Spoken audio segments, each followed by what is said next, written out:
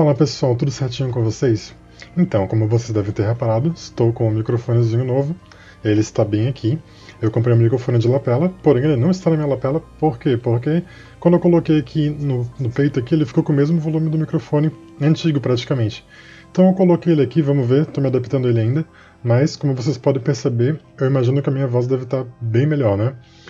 Então tá, isso aí pessoal, vocês reclamam e é claro, eu vou providenciar, né? Como eu falei, críticas são muito bem-vindas aqui, porque eu vou estar sempre me esforçando para cada vez melhorar mais o canal, né?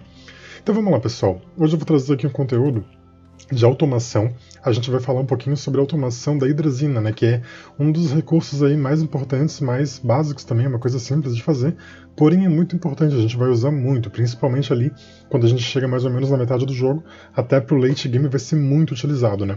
Então o pessoal pediu para mim explicar mais algumas automações simples, porque eu trouxe muito vídeo assim de conteúdo bem mais avançado, né, então eu vou trazer aí algumas dicas, algumas sugestões de automação mais básicas. Então, se esse vídeo te ajudar, já sabe, curte, compartilha, comenta, aquela coisa toda. E deixa aqui embaixo sugestões, suge sugestões para os próximos vídeos, pessoal. Se você estiver precisando de alguma automação, alguma coisa, pede aí que a gente faz, beleza? Então tá, pessoal, vamos lá. A primeira coisa que você vai ter que achar é amônia. Hidrazina, eu ia falar hidrazina, amônia. Você tem que achar amônia, porque é com ela que a gente vai fazer a hidrazina. Então, como é que você faz para encontrar amônia? Eita, tá difícil. Você vai procurar nas florestas, aqui em Silva. Também tem na caverna, porém na floresta é muito fácil de achar. Então aqui em Silva, que é o planeta inicial, você vai procurar nas florestas. Então procura o mais próximo possível da base, para você não ter que ir até muito longe, é claro, né? E eu sugiro que você faça uma procura em círculo. Por quê? Porque se você for em linha reta, muito longe, vai ficar difícil para trazer de volta. Então, você procura em círculo, assim você vai conseguir achar um local mais próximo possível da sua base, certo? Então agora que a gente achou aqui, achou aqui a amônia, a gente vai precisar do que? A primeira coisa que a gente precisa é de uma extratora de alto, uma broca. Então vamos lá. Bom, está aqui a nossa extratora de alto. Esse item aqui a gente faz na impressora grande, tá bom? Então você faz ela na impressora grande, desempacota, e agora a gente vai colocar aqui em cima da amônia, certo? Ó, eu gosto de deixar aqui ó, com esse local aqui para frente, é de onde está saindo. Porque às vezes pode ter um pouquinho de composto, um pouquinho de resina aqui perto, e ele vai puxar aquele recurso que a gente não quer. Aí você pega e posiciona de novo para o lado, até chegar e vir a amônia, que é o que você quer, beleza? Agora a gente precisa conectar ela a uma fonte de energia, e ela consome 8 de energia, o que é bastante coisa. Eu tenho um vídeo no canal falando só sobre energia, então se você ainda não viu, por favor, dá uma procuradinha aqui no canal, que eu tenho vídeos bem bacanas aí, tá? Então vamos lá. É, o que, a gente precisa agora? A gente precisa alimentar e a gente também precisa bolar um esquema para pegar a amônia que vai sair lá em cima. Ela sai por aqui, para, esse, para essa saída e vai lá para cima. Lá em cima a gente pode colocar algum armazenamento ou a gente também pode colocar aqui embaixo um braço de alto para que ele puxe lá de cima, assim fica ainda mais automático, né, que é o que a gente quer. Então eu vou fazer dessa forma, eu vou colocar aqui um braço para que ele puxe lá de cima. Bom, pessoal, agora a gente já tem aqui um braço de alto e eu coloquei ele aqui em cima de uma plataforma média A, uma plataformazinha simples, né? Não vou precisar de muita coisa aqui. E vocês estão vendo que a broca está aqui mais ou menos em cima do círculo verde do braço, que é de onde o braço puxa, do círculo verde para o círculo azul. Então a gente vai deixar o braço aqui para ele poder fazer o trabalho. Ele vai puxar lá de cima a amônia e vai levar para lá. Né? E para lá a gente vai colocar daí o resto do sistema. Então vamos lá, vamos colocar agora mais braços aqui, mais plataformas, para que ele possa levar isso daqui mais longe. Ou eu poderia montar o sistema aqui perto, mas daí vai de vocês. Eu prefiro fazer uma trilha, né, um caminho, como se fosse uma esteira, para levar esse recurso mais próximo possível da minha base. Então vamos lá, vamos fazer isso agora. Então pessoal, agora a gente fez aqui um, um breve caminho, né, onde esses braços aqui através dessas plataformas vão estar puxando a nossa amônia daqui até lá, né? Aqui eu escolhi usar essa plataforma, que é a plataforma estendida grande. Ela é feita na impressora média, tá? Ela é muito boa porque ela já tem dois espaços e é o espaço certinho para o braço poder coletar.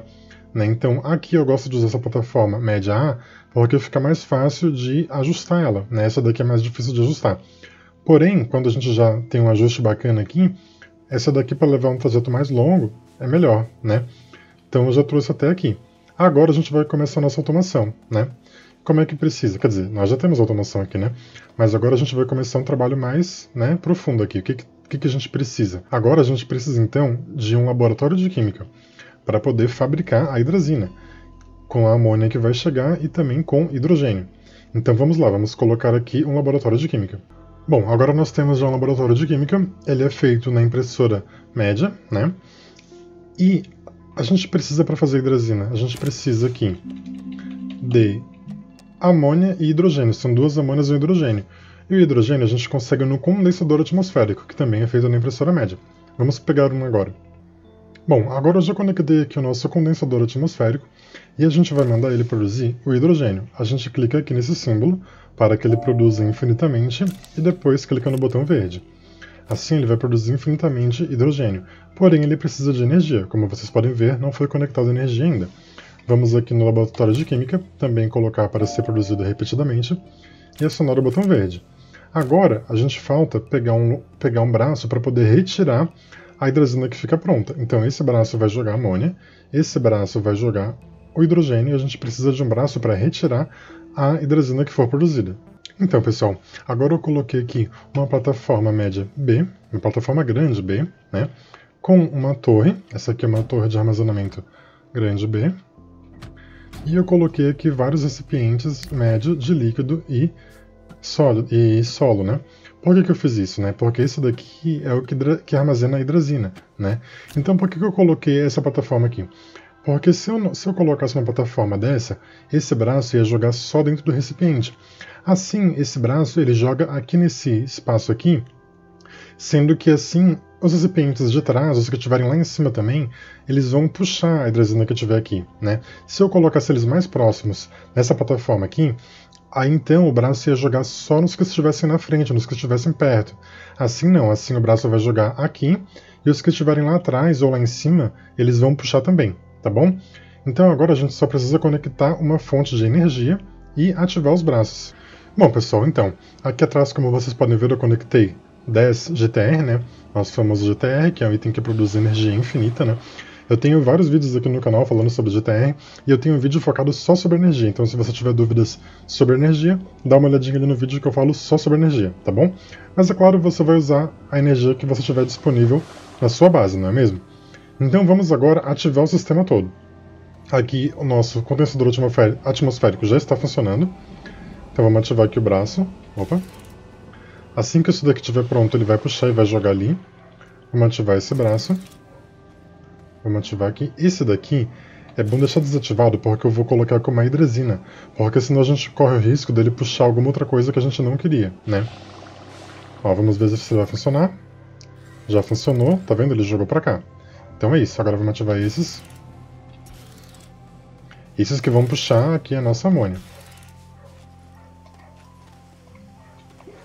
Vamos ativar o braço. E agora só falta conectar e ativar a broca. Conectou ela e ativou. Agora vamos esperar para ver aqui ela funcionando. Assim que a gente tiver a primeira amônia, já vai ser puxado. Vamos ver se ficou certinho o trajeto, né? Basta colocar o local onde vai ser retirado dentro da zona em verde e o local onde vai ser depositado na zona azul. A gente pode visualizar essa zona passando o cursor por cima do braço de alto, né? Então basta fazer o caminho, ó, fazer o trilho e assim por diante, tá? Vamos esperar aqui. É isso aí, pessoal. Vamos acompanhar aqui o trajeto.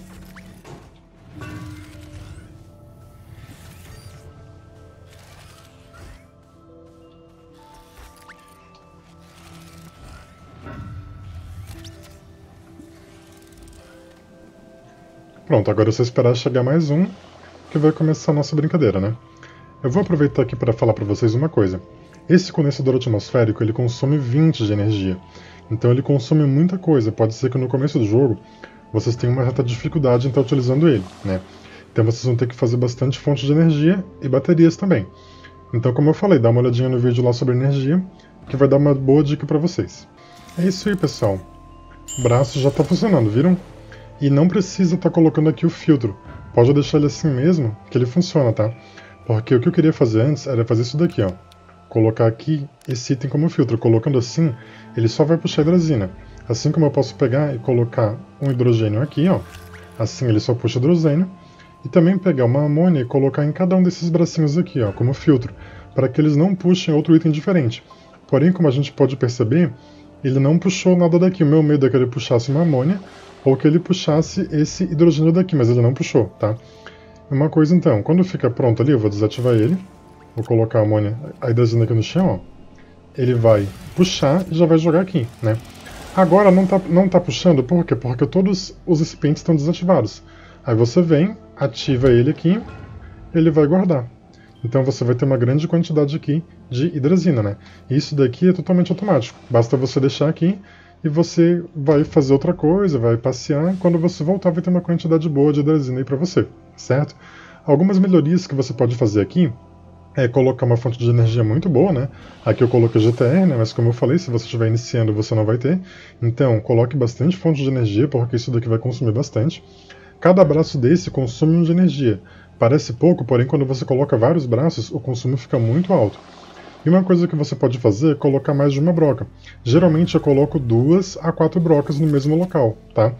Não tem problema, você pode colocar várias, que você vai aprender a manusear elas e ver da forma melhor que elas funcionam, tá? Então olha só, vamos ver aqui novamente o funcionamento, ó. Ele vai fazer a hidrazina e o braço aqui já vai puxar e vai colocar para lá, tá bom? Então, pessoal, o vídeo de hoje era isso, espero que possa ter ajudado vocês, né? Se ficou alguma dúvida, se vocês quiserem mais algum vídeo desse tipo, é só vocês comentarem aqui embaixo que eu vou me esforçar para estar tá trazendo esse tipo de vídeo para vocês, tá? E comentem aí, por favor, também se o som ficou bacana, né? Eu botei esse microfone novo agora, espero que tenha ficado legal. Comenta aqui se o áudio ficou, se ficou muito alto, se ficou com barulho, se ficou alguma coisa, né? Eu percebi que ele ficou bem sensível, né? Até tinha outra pessoa passando ali em casa e eu acho que eu consegui escutar um pouquinho dela passando ali no fundo, né? Mas a gente está aprendendo, a gente vai se acostumando e vai melhorando, né?